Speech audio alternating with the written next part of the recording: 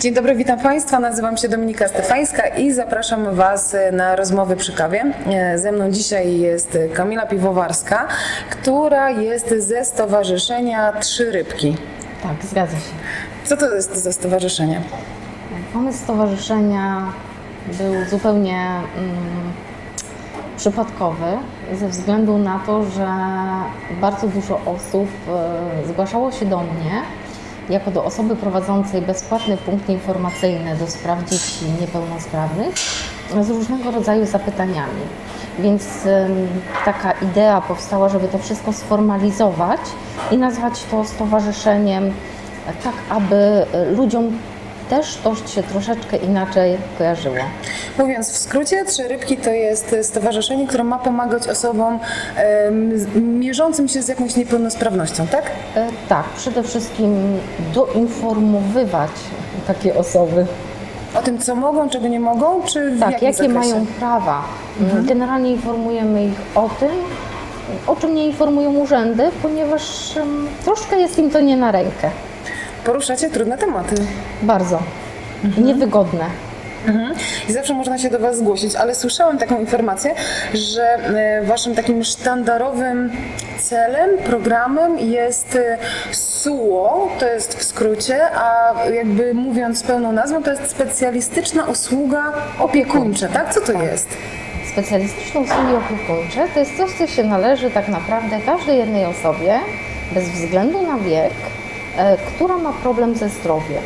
I tutaj musimy sobie powiedzieć jasno, że tutaj e, rozgraniczamy to na neurologię i na psychiatrię.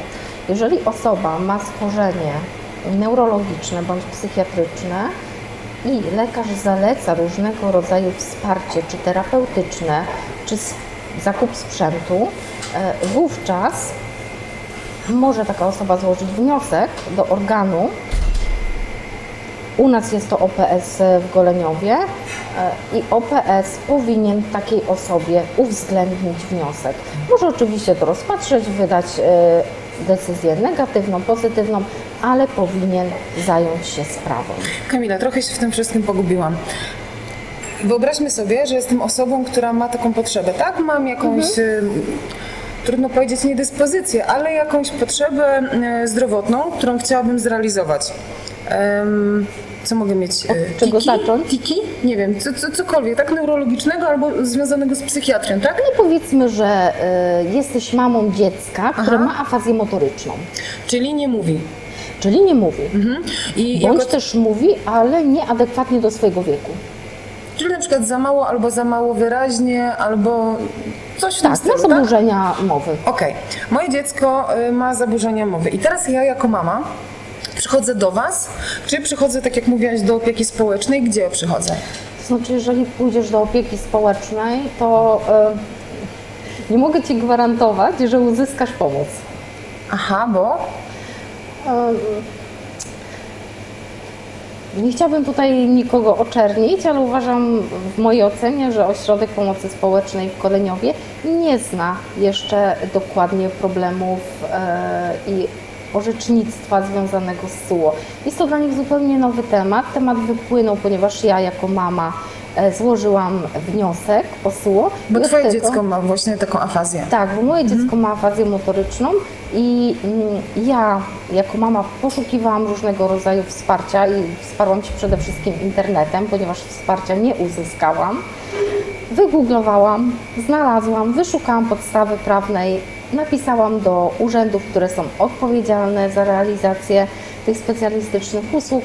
E, No i całą wiedzę o tych usługach, można powiedzieć, posiadłam. I stąd też tak naprawdę wzięło się to stowarzyszenie, że chciałaś Tak. być bardziej poinformowana, tak? Można Tak, w i skrócie chciałabym, powiedzieć? tak można powiedzieć, i chciałabym, żeby ludzie byli o tym poinformowani, bo do tej pory, jak wiemy, nie wpłynął do e, 27 listopada 2017 roku, nie wpłynął ani jeden wniosek o realizację specjalistycznych usług opiekuńczych dla dzieci z niepełnosprawnościami albo z dysfunkcjami, a ustawa tak naprawdę funkcjonuje od 2004 roku. Mhm, to są już takie rzeczy, na których trochę ja się nie znam, ale rozumiem, że gdyby rodzic chciał przyjść i dowiedzieć się, jak wyglądają takie podstawy prawne, to może do Was przyjść. Tak, może do nas przyjść, ja wówczas wydaję wniosek, który ja też e, sporządziłam, ponieważ urzędy takimi wnioskami nie dysponują. Więc jest, wzór do pobrania, wówczas z takim wzorem idzie się do lekarza, udaje się do lekarza e, odpowiedzialnego za rozpoznanie w danym stworzeniu i lekarz e, takie zaświadczenie wypełnia, wskazując mm, również zalecane formy terapii. Okej, wróćmy do tego em, przykładu, że jestem mamą właśnie, tak jak ty, e, tego dziecka z e, afazją motoryczną. Przychodzę do was, do stowarzyszenia, ty pomagasz mi wypełnić jakiś wniosek o te specjalistyczne usługi opiekuńcze, tak? Tak. Mhm. I co ja mam w ramach tych usług? I tutaj muszę powiedzieć, że OPS tak naprawdę jest ostatnim ogniwem systemu. OPS, jeżeli dostaje taki wniosek, to winien jest zbadać dogłębnie sprawę. To znaczy? To znaczy, musi przede wszystkim zrobić wywiad środowiskowy, y, y, rozpoznanie, jeśli chodzi o dochody rodziców, wsparcie, czy rodzina Też takie jest psychologiczne, tak? Y, Nie, raczej Finansowe? tutaj mówimy o, o finansowaniu tego, czy rodzina ma wsparcie z zewnątrz, mm, ale też trzeba nadmienić, że specjalistyczne usługi opiekuńcze nie są, nie są jakby świadczeniem, które zależy w dużej mierze od dochodów. To znaczy, chciałabym to e, wyjaśnić. Utarło się tak, że osoby, które mają bardzo niskie zarobki, bądź też w ogóle ich nie mają, idą do OPS-u w celu mm, uzyskania jakiejś pomocy finansowej. E, No i tu jeśli chodzi o te sfinansowanie tych specjalistycznych usług e, opiekuńczych, tu wszystko zależy od dochodów, jednakże rodzic jakby dopłaca tylko część. Nie rozumiem. Nie rozumiesz? Wróćmy do tego. Y, Mam ten wniosek, staram się o te usługi y, specjalistyczne. Przychodzi Pani z opieki y, społecznej i bada moją sytuację rodzinną w zakresie materialnym, tak? Tak. Ale jednocześnie nie zależy to od dochodów. Tak, już Ci tłumaczę, oni muszą przyznać usługi, jeżeli Wam się należą, Tobie jako mamie, a dziecku Tak. jako dziecku.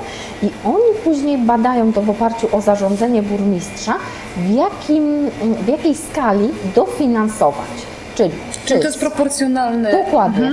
Czyli czy to sfinansować w całości, czy rodzic ma dopłacić część, bądź też 100%. 100% jest wówczas, kiedy mm, dochód przekracza 500% e, tej podstawy na osobę.